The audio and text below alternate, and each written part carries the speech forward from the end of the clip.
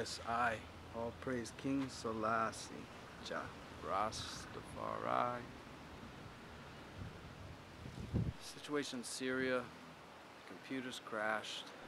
Can't get video editing software. Really would like to present a more interesting forum than just talking into the camera. But let us recall the United States and their allies losing the war. Um, they set an objective to eliminate Bashar al-Assad, despite what the CEO of ExxonMobil may tell you. Um, this is the objective, and it is so that more fossil fuels can be burned, and specifically in Europe. Um, there was that contract with the company Genie Limited out of New Jersey, shareholders Rupert Murdoch, Dick Cheney, and Jacob Rothschild, uh, just a few names, um, in 1993 to secure a region of the Golan Heights, now being ruled by Syria. The military is called in and it became a proxy war, a covert war. Try to keep it out of the, the mind of, people uh, making that connection between the military and another regime being toppled. Because, of course, we know what the results were of Iraq for most people. And I'm sure that the results were, were fine for some. But in most people's mind when they look at Iraq, um, with all the drone bombings, killing still going on, they're being called suicide bombings. Remember, the drones disintegrate now. It's a state of chaos, and that's a direct result of the invasion.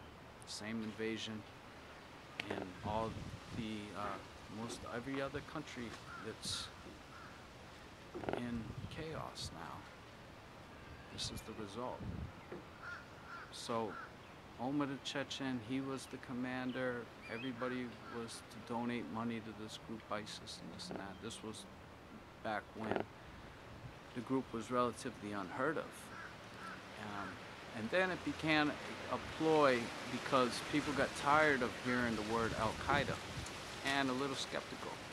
So this new term come out, which evolved into the Islamic State to present that projection to people that this is what faith-based apocalyptic thinkers look and act like.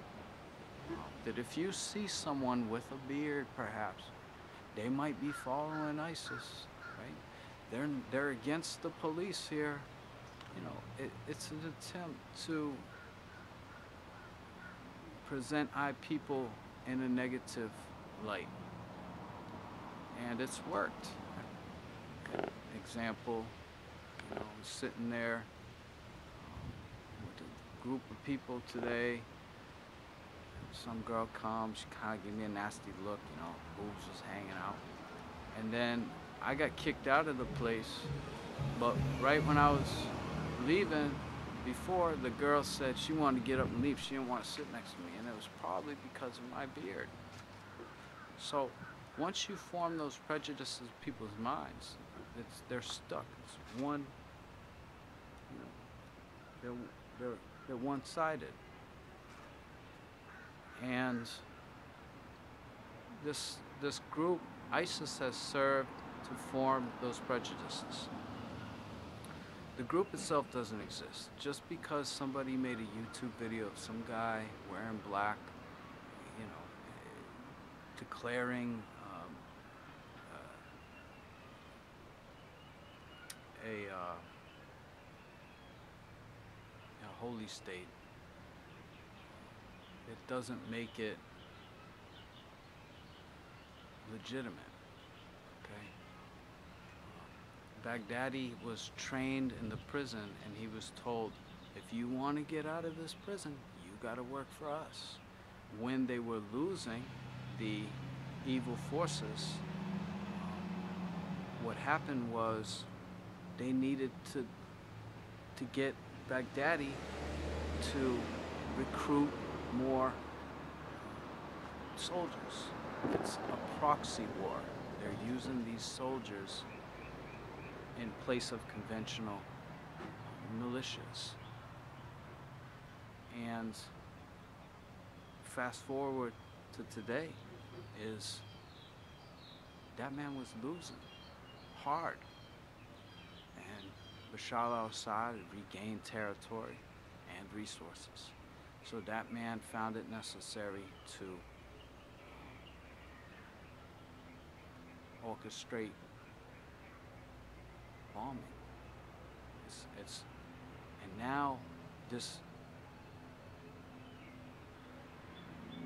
real crossing of the red line is being presented as theater that somehow the pedophile is working with the president of Russia and this doesn't mean anything. So you can almost listen to the media and now it's if it's if, if they tell you something doesn't mean something, it does.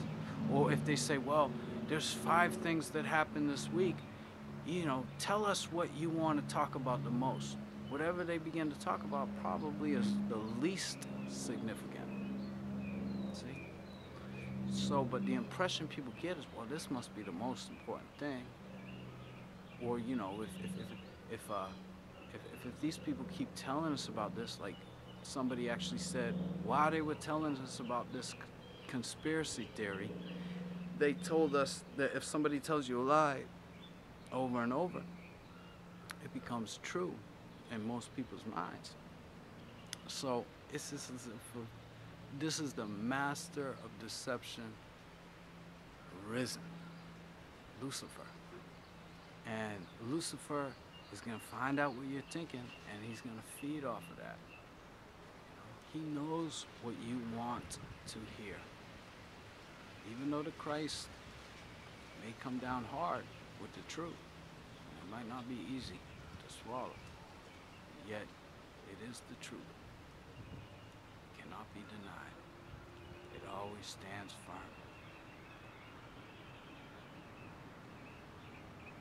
So it became necessary now for conventional warfare because that man was losing.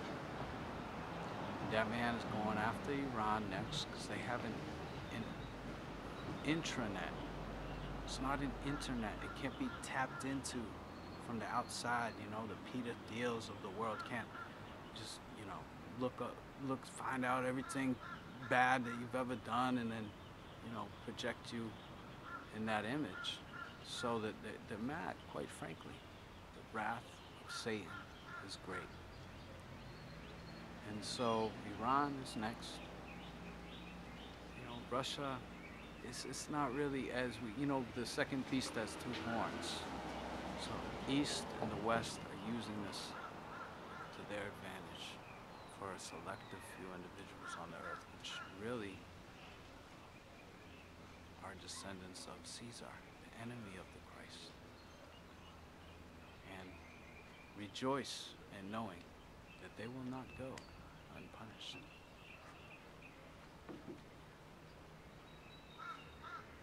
And Bashar al Assad may be taken out just as others have fell.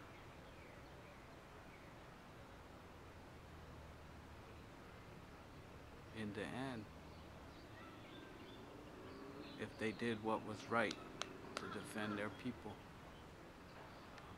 they will be rewarded. And all others